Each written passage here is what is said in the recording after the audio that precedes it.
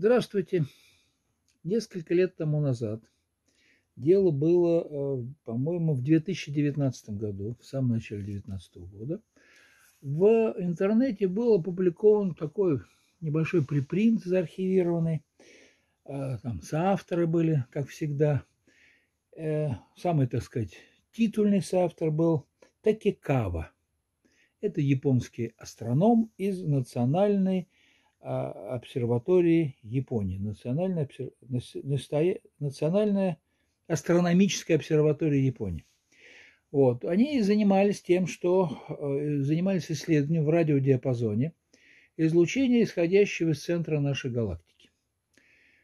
В центре нашей галактики, как известно, существует сверхмассивная черная дыра. Эта сверхмассивная черная дыра имеет массу несколько миллионов масс Солнца. Вот такая вот сверхмассивная черная дыра. А какое-то время тому назад ученые всего мира, астрофизики, ожидали, что движущийся э, в непосредственной близости от этой черной дыры объект упадет на нее.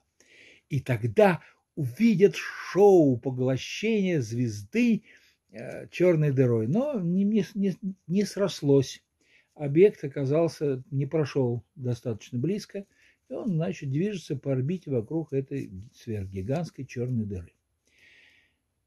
Есть еще ведь другое население нашей галактики, это черные дыры самых разных масс.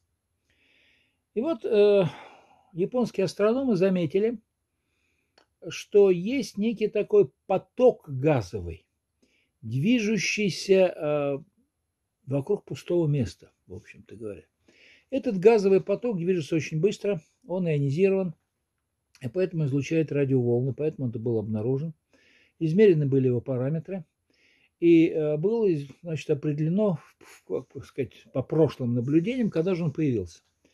Оказывается, он появился в результате того, что в тех местах проходила туманность, и вместо того, что, ну, туманность, то есть облако газа, межзвездное облако газа, весьма рассеянное, и вместо того, чтобы упасть на сверхгигантскую черную дыру, вот эту вот миллионную, с миллионом масс Солнца, оно не упало, а было кем-то захвачено. Кем? Черной дырой.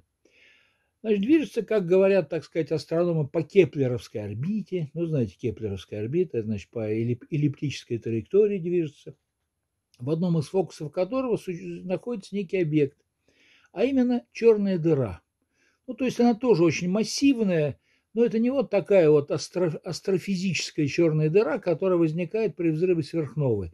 Ну, это вот, вот ну, скажем так, по-хорошему там порядка 10-20 масс Солнца. А у этой черной дыры масса, э, японские ученые определили очень корректно, 3,2, да, 32 тысячи, простите меня, масс Солнца. Откуда взялась эта черная дыра? Что с ней случилось? А черная дыра это а, была, видимо, в центре некого шарового звездного скопления. Значит, что такое шаровое звездное скопление? Шаровое звездное скопление – это, значит, скопление звезд, которые не движутся по орбитам вокруг кого-то, а падают внутрь этого шарового скопления, пролетая через него возвращается обратно. Вот так, как такое вот облако, не кеплеровское, а такое облако частиц – которые не могут расстаться из-за взаимной гравитации. И вот, значит, в центре этого шарового звездного скопления то ли возникло, то ли собралось, то ли наметилось вот гигантская черная дыра 10 четвертым от Солнца. При прохождении недалеко от вот этой центральной нашей черной дыры, нашей, потому что это в нашей галактике, в галактике туманности Андромеда или просто в галактике с большой буквы, эта черная дыра растеряла все свое шаровое звездное скопление. Оно было поглощено. Ну, поглощено было не сегодня, не вчера. То есть это такого вот фейерверка а, поглощений наши астрономы не, не имели возможности наблюдать. Вот. Осталась только одна черная дыра, которая движется очень близко от э, центральной черной дыры. Действительно, очень интересный объект, правда? И вот вы знаете, как вам сказать, ну я вам скажу правду. Вот представьте себе, поступает некая информация. Завтра на Землю упадет небесное тело массой, там, ну, сравнимой с массой Земли. И масса Земли, Земля не просто пострадает, ну, в общем, она переживет такой катаклизм, в результате которого ну, жизнь прекратится на Земле. Как вы думаете, стоит ли об этом сообщать широким массам? Наверное, нет. Я понимаю, там больше двух с половиной тысяч световых лет до этого центра галактики. И если это черная дыра, которая вновь обнаруженная, массивная черная дыра, а, там была две с половиной тысячи лет тому назад, сейчас там ее уже нет. Она слилась с этой сверхмассивной черной дырой, упала на нее.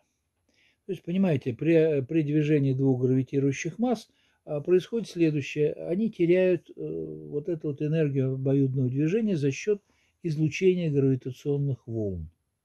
И вот они излучают эти гравитационные волны, сближаются и в конце концов сливаются. Что значит сливается? Одна дыра падает на другую.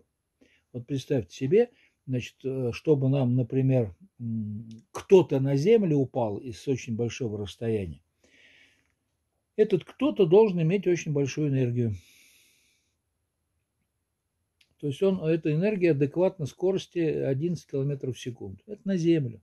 Мы не черная дыра. И не черная дыра сверхмассивная. А тут две этих черных дыры падают друг на друга. Масса огромная. Соответственно, очень большая космическая скорость. Простите меня, космическая скорость. Там близкая к скорости э, кого? Света.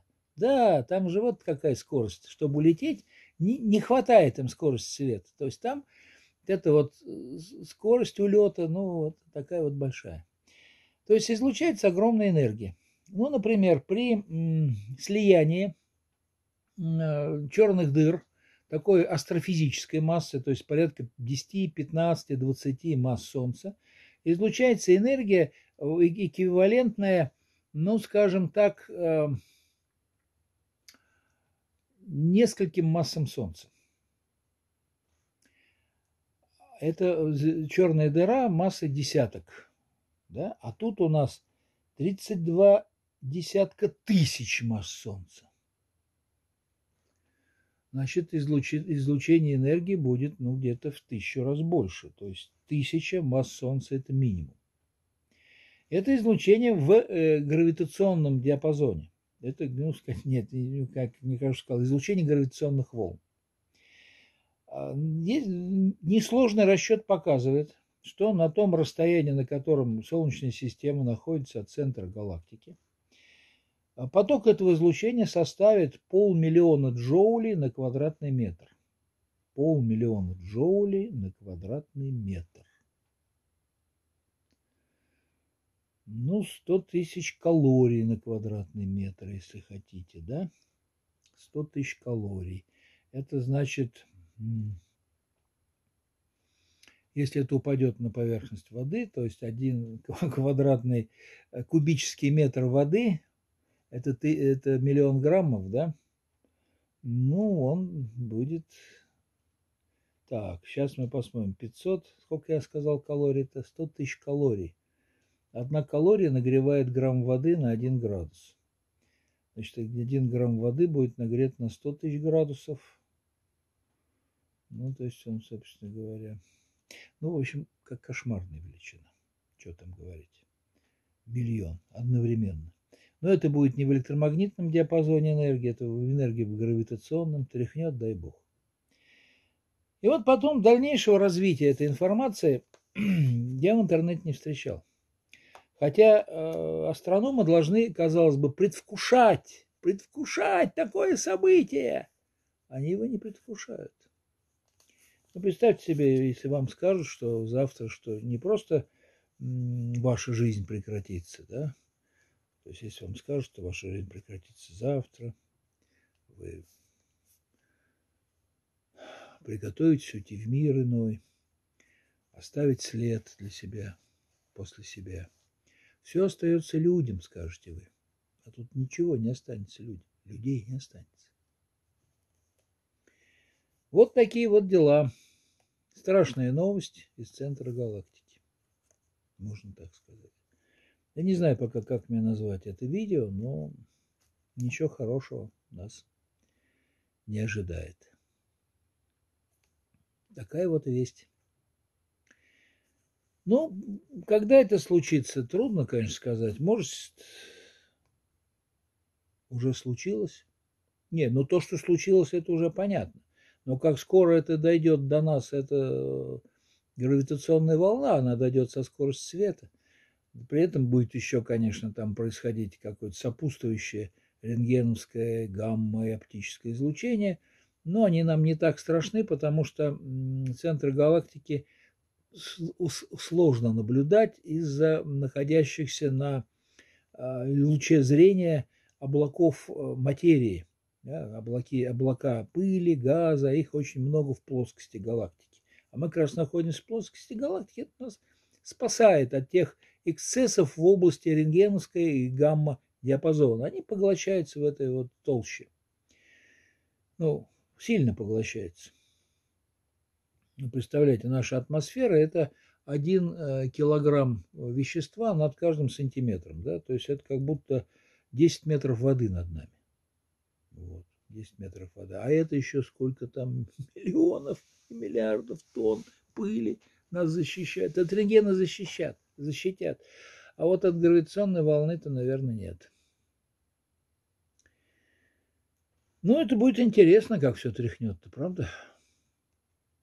Наконец-то все поймут, что гравитационные волны существуют, правда восторжествует. Но будет поздно. Да. Это такой физический конец света, я бы сказал. Так, ну, однако, не унывайте. Все на том свете будем. Вот. А пока надо жить, не расслабляться. Ну, видите, вот японские товарищи не расслабились, не стали развернуто публиковать эти данные, не стали. Ну и мы не будем горевать, будем делать вид, что ничего не происходит, что ничего не произойдет, что ничего нас не ожидает особенного, хотя нас всех ожидает в конце концов смерть. Вот, я призываю вас воспользоваться вашими финансовыми авуарами, поддержать меня по возможности. Внизу есть э, мои реквизиты для переводов денег. Ну, поддержать меня и скрасить последние дни обитания, существования нашей галактики, да, вот я тут со своими котами сосуществую, а вы со мной, а я буду дальше пока рассказывать, так вот однажды я вам что-то буду рассказывать, про двигатель Стирлинга или про историю Византии, и тут бат! И все кончится. Это как в фильме, э, любимый фильм, кстати, нашего президента «Щит и меч». Э, детям э, Йоган Вайс, советский разведчик Иван Белов, который действует под псевдонимом эсэсовского офицера Йогана Вайса, при, при, приехал к детям в концлагерь. Дети там используют для получения крови. И, значит, привез коробку конфет. Конфеты раздают детям, говорит, берите. Ну, один ребенок, самый главный из этих детей, так сказать, пахан, говорит, съешьте по конфете. Это как будто уснешь. Вот они все, все сели по конфетке и легли помирать. Вот такое, так вот люди живу, жили в ту пору. Так и вы. Посмотрите мое видео и ложитесь спать. Может быть, утром проснетесь.